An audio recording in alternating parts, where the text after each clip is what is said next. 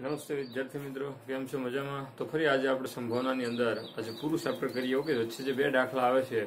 એ પ્રવૃત્તિવાળા આવે છે, કોઈ ગણવાનું પેલું છે નહીં. ગણતરીમાં જે છે દાખલા અહીંયા લખેલા છે. તો આજે આપણે અગિયાર, બાર અને તેર છેલ્લા જે દાખલા ત્રણ છે એ જોઈ અને ચેપ્ટર પૂરું કરીએ. ઓકે બે દાખલા પ્રવૃત્તિના છે, જે ગણવાના નથી ખાલી, એમને પ્રવૃત્તિ જ કરવાની છે. ઓકે.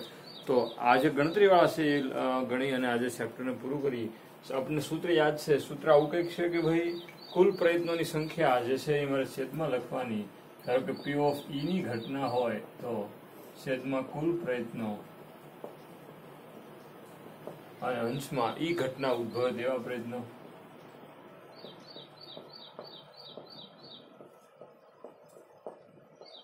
બરાબર છે? એટલા માટે આ સૂત્રને લઈને દાખલા બધા ગણ્યા, એમાં આપણે આજે અગિયારમો દાખલો રકમ આવી છે. ઘઉંના લોટની થેલી પર પાંચ કિલો વજન. કેટલું વજન? પાંચ કિલો વજન ધરાવતી અગિયાર થેલી લેવામાં આવી. તો કુલ થેલી કેટલી? પહેલો જ મુદ્દો લખવાનો છે કે કુલ બેગ અથવા તો કુલ થેલી. અગિયાર. તો આ છેદમાં આવશે દાખલો ગણતી વખતે. ઓકે. હાલ એની પછી તે નીચે મુજબ છે. તેમાં ખરેખર લોટ કેટલો છે તે નીચે મુજબ છે. ઓકે. પાંચ કિલો પેકિંગ જે તે સમયે કર્યું એ પછી વાતાવરણ ભેજ અથવા તો ગરમ હોય એને લીધે અમુક સમય પછી એનું રિયલ લેતી વખતે જે કોઈ વજન કરવામાં આવ્યો તો એનું વજન કેટલું છે એ પાછું આપેલું છે કે ભાઈ એક થેલી ચાર પોઈન્ટ સત્તાણું, પાંચ પોઈન્ટ જીરો પાંચ એવી રીતે એમ કરતાં કરતાં આ રીતે અગિયાર અગિયાર થેલી આપી. તો કીધું હું, તો કોઈ એક થેલી પસંદ કરતાં તેનું વજન પાંચ કિલાથી વધુ હોય. કેટલું હોય? પાંચ કિલાથી વધુ હોય. તેની સંભાવના મેળવો. તો ઘટના આવી છે કે ભાઈ ઘટના એ કેવી છે કે ભાઈ પાંચ કિલો કરતા વધુ વજન ધરાવતી થેલી. એ કુલ કેટલી છે ગણી લઈએ? પાંચ કિલો થી વધારે. હવે જે વજન રિયલમાં કરવામાં આવ્યું, એમાં પાંચ કિલો થી વધુ કેટલામાં થયું એની વાત કરીએ? તો વધારે કેટલામાં થયું? તો કે ભાઈ આ એક, આ બે ત્રણ, ચાર, પાંચ,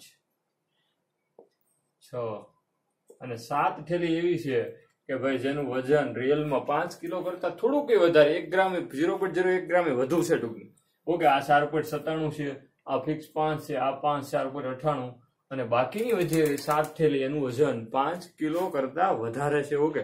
અને એવી ઘટના તો હવે આનું આપણે સંભાવના મેળવીએ તો પી ઓફ એ બરાબર છેદમાં લખવું પડે કુલ થેલી. અને અંશમાં એ ઘટના ઉદ્ભવે તેવી પ્રયત્નો એટલે કે પાંચ કિલો કરતા વધુ વજનની થેલી. ખૂબ હેલું છે આ. તો કુલ થેલી કેટલી છે આપણી પાસે? અગિયાર. પાંચ કિલો કરતા વધુ હોય એવી કેટલી છે? સાત.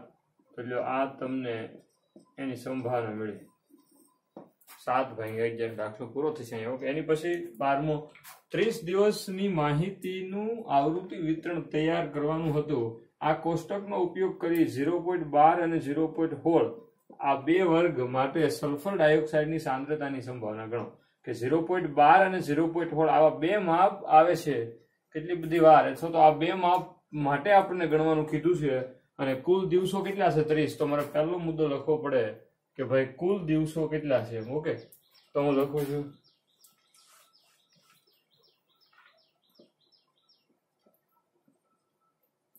કુલ દિવસો ત્રીસ. એની પછી ઝીરો પોઈન્ટ બાર અને ઝીરો પોઈન્ટ હોળ માટે સલ્ફર ડાયોક્સાઇડની સાંદ્રતા ગણવાની કીધી, તો પહેલા ઝીરો પોઈન્ટ બાર અને ઝીરો પોઈન્ટ સોળ. ઈ કેટલું આમાં થાય છે એની વાત કરીએ તો ઝીરો પોઈન્ટ બાર ક્યાં છે? વાર ઝીરો પોઈન્ટ બાર કે ઝીરો પોઈન્ટ સોળ હોય એને લેવાના, અહીંયા ઝીરો પોઈન્ટ સોળ છે. આ ઝીરો પોઈન્ટ બાર, ઓકે? આમાં ત્યાં છે નહીં. આમાં ત્યાં નથી ને આમાં ત્યાં નથી તો બે ઘટકો જે છે ઈ ઘટના ઉદ્ભવ ઈ માટે છે. ઝીરો પોઈન્ટ બાર અને હોળ વર્ગ માટે સલ્ફર ડાયોક્સાઇડની સાંદ્રતા ગણવાની.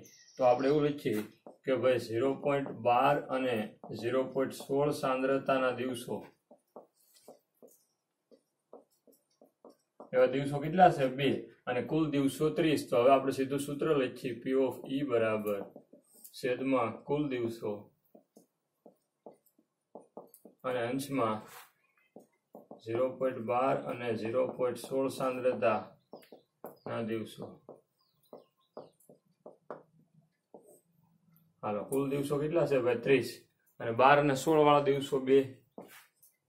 તો બે પંદર ત્રીસ તો જવાબ આવે એક ભાંગ્યા પંદર. તો આ તમે બે જે કોઈ ઘટકો હતા, બે સાંદ્રતા માટેના દિવસો બે, એની સંભાવના કમ્પ્લીટ મળી. એની પછી છેલ્લો દાખલો ખૂબ હેલો. ત્રીસ વિદ્યાર્થીના રુધિર જૂથ આપેલા. તો પહેલો મુદ્દો લખવો પડે, કુલ વિદ્યાર્થી કેટલા? ત્રીસ હાલો તો કીધું હું તો એબી રુધિર જૂથ ધરાવતા વિદ્યાર્થીની સંખ્યા, તો આપણે પહેલા એવું ગણી લઈએ કે ભાઈ એબી રુધિર જૂથ ધરાવતા વિદ્યાર્થી. એ બી વાળા ગણો છે એ બી ભેગું. ઓકે, એ અને બી નથી. ઓકે, એ બી છે એટલે આ એક, બે, ત્રણ ત્રણ વિદ્યાર્થી. તો સીધું લખવાનું. કે દયાનો પી ઓફ ઈ બરાબર. છેદમાં કુલ વિદ્યાર્થી ત્રીસ સૂત્ર તમે લખજો અને અંશમાં એ વાળા ત્રણ, તો ત્રણ, દસ, ત્રી, એક ભાંગ્યા દસ. બરાબર? આ તમારો જવાબ. તો આ સાથે આજે આપણે સંભાવના ચેપ્ટર પૂરું કરીએ.